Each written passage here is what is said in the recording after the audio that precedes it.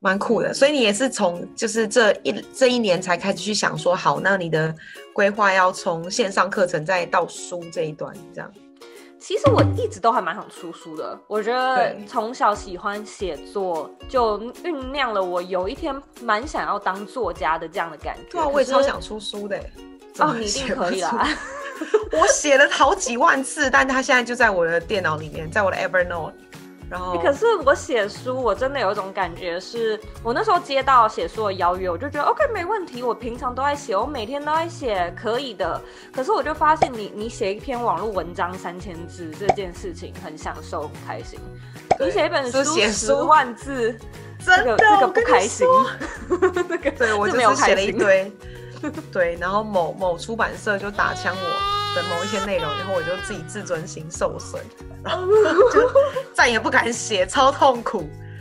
我懂，我懂了。请问你遇到他的工作本身是无法远距的人，你该怎么办？比如说他就是一个设备工程师，或是他是就是要现场操作那一挂的人，嗯，会怎么给他们建议？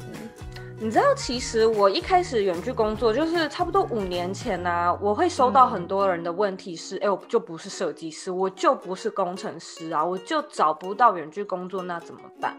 那五年前，其实对于像这样子的问题，我还真的不知道怎么样回答。就是我觉得这真的是一个无解之题，因为它是科技上的限制嘛，不是说这个人不努力，是科技现在的当代的科技没有办法突破。但是呢？自从有 COVID 之后，美国这里因为的因为疫情，对，因为疫情受到了很多影响。我在这边真的有看到很多我觉得很扯的案例，例如说法官开法庭可以 Zoom 进行这件事情，你可能会觉得怎么可以？不就是要这么正式的呃上法院打官司的事情可以线上进行？我自己遇过。呃，会计师，我私底下有朋友，他是会计师。你一般人会想说啊，会计师不就是会有公司的一些机密文件，这怎么处理？这怎么办？对，呃，他跟我他跟我分享说，他们公司有配 VPN，一人一台，然后。你用私人网域，因为你会处理到一些客户的，就是那种机密的东西，还有一些国税局的东西，所以他们会有一个特别的 VPN，让你在家里可以工作。然后那间公司就是配的，嗯，这个叫什么？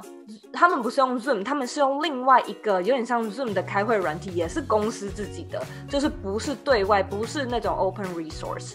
我甚至遇过保姆。做线上的带小孩，然后我就说这个保姆怎么线上带小孩？他就说因为呢，现在的爸爸妈妈都在家，但是小朋友不能，学校没开，小朋友也在家，所以他们会有的方式是跟爸妈协调好，说爸妈你几点到几点要工作，就是要开会，然后呢，那个保姆就从那个时间开始把电脑开起来，然后把小朋友放在这个电脑前面，然后保姆跟小朋友一起玩。所以保姆可能会就是唱歌或者是念书，然后宝宝就是跟着电脑前的保姆一起互动，然后妈妈在旁边就是做她的电脑上的工作。我甚至遇过，就是很多很奇怪，像是什么 DJ，我还我还有买过 Zoom 的门票去看线上的戏剧。就是你会想说，戏剧不就是现场演出吗？可是我真的买过票，然后那个票买下去，他们就给你 Zoom 的呃 password，给你 Zoom 密码，你可以进到那个 Zoom 的直播间，然后看线上的即兴表演，就是他们真的会做一场秀。然后我在美国还有一个蛮有趣的例子，就是我之前有去看房子，就连房仲也跟我们就是远距线上。对，就是我们可能用那个视讯，然后他就说，哎，那你现在走到这个地方呢，你可以把这个炉子打开，炉子打开有没有看到里面有什么什么开关？我们说有有有，然后说哦，这个开关呢，其实它有 trick，你就是要打开的话要这样打开，类似像这样子，然后我就觉得，哎，好神奇哦，这些东西，呃。当然，台湾可能还没有做到这样的地步，因为台湾防疫做的太好了，所以没有这样的案例。可是，我就觉得说，如果真的有必要的话，其实蛮多人，嗯，也不能说是狗急跳墙啦，但是美国就必须要这么做。可是我应变，对，可是我确实也看到更产业的多元性，因为我看了你的你的网站，你有个新的网站，嗯。对不对？就是针对你自己的那个理想学院。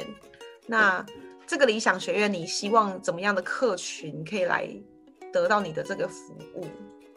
嗯，理想学院其实就教两门课，一门就是设计思考，然后另外一门呢教个人品牌。呃，怎么样的人适合什么样的课？我觉得你先看你现在在哪一个阶段。如果你现在的阶段是啊，真的对人生很迷惘，不太确定自己想要什么，或者是觉得说，哎，对自己现在的生活不满意，可是。想要知道有没有那种比较具体的方法论，而不是就是哎，那你就尝试啊，哎，那你就坚持下去。就是有的时候这些话说久了，你还是不知道有没有那种 methodology 可以去套用。所以如果你是这个阶段的人，你可以去上。呃，设计师考课，但是如果说你现阶段觉得说，哎，我其实蛮知道我自己生活要什么，然后我对自媒体跟做个人品牌感兴趣，我甚至想要把这个东西呃变成自己的第二副业，开始呃得到一些演讲的机会啊，或者是分享我热爱的议题，然后从中变现。那你可以去上个人品牌的课程，它就是从零到一教你怎么样去建立品牌，怎么样定位，怎么做内容，怎么行销，怎么变现。如果有一件很很事情做的话，会很棒。像我们现在女力学也在想这件事情，就是如何做一个 data collection，就是看他现在一年，或是他买了你课程之前填了一个问卷，买你课程之后可能三年或一年填了另外一样同样一个问卷。如果这个 data collection 做出来的 questionnaire 是不一样的，就代表他真的因为你的课成长。嗯嗯嗯嗯那就真的蛮拽的。这 data 全部加起来很变态。对，所以你的你的课程很兴奋。对对，所以其实我觉得还有很多地方是可以合作的，所以这个位置就非你莫属了。硬要这样问，对呀。然后最后想要呃，我们会放上你的官网，然后也想要问还有什么特别你想要跟就是你的粉丝们说的。因为你的粉丝真的很多哎，没有，他们都不是光鲜亮丽在爱你，他们就是私底下说我要买他的课，你知道我真的超爱他，就这种系列的。对，我发现他们都还蛮爱爱内涵光的。对对，通常比较比较知识型的东西，他们都是这样默默默默喜欢喜欢你。好呀，最后一个最后一个消息就是我要回台湾，哎，也没有说很长时间，但是你什么时候回台湾？七月，我我七月号已经买了，对，确定不会延期。七月什么时候？该不会是美国国庆日吧？七月一号，我会到台湾，但你要先隔离十四天。对，希望到时候不用隔离，但是我觉得不太可能。可是我可能会打疫苗，就来看看，他会不会愿意？你可以不要让我倒一点啊，OK，或者少一点减免减免。然后我会待到十月底。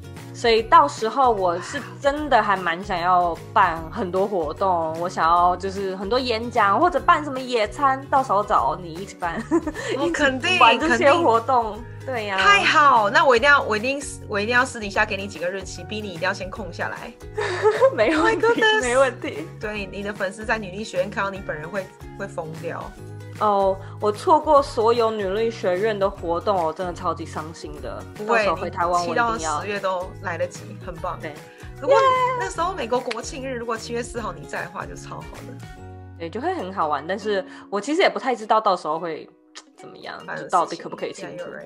也对，好呀，非常感恩你。那我们今天的访谈就到此结束了。然后那个你知道 offer 的薪水，我们私底下谈。没有啦。好不玩了，好哦，那非常感恩你，我要先把它结束，停止录制，要跟大家说拜拜，拜拜拜。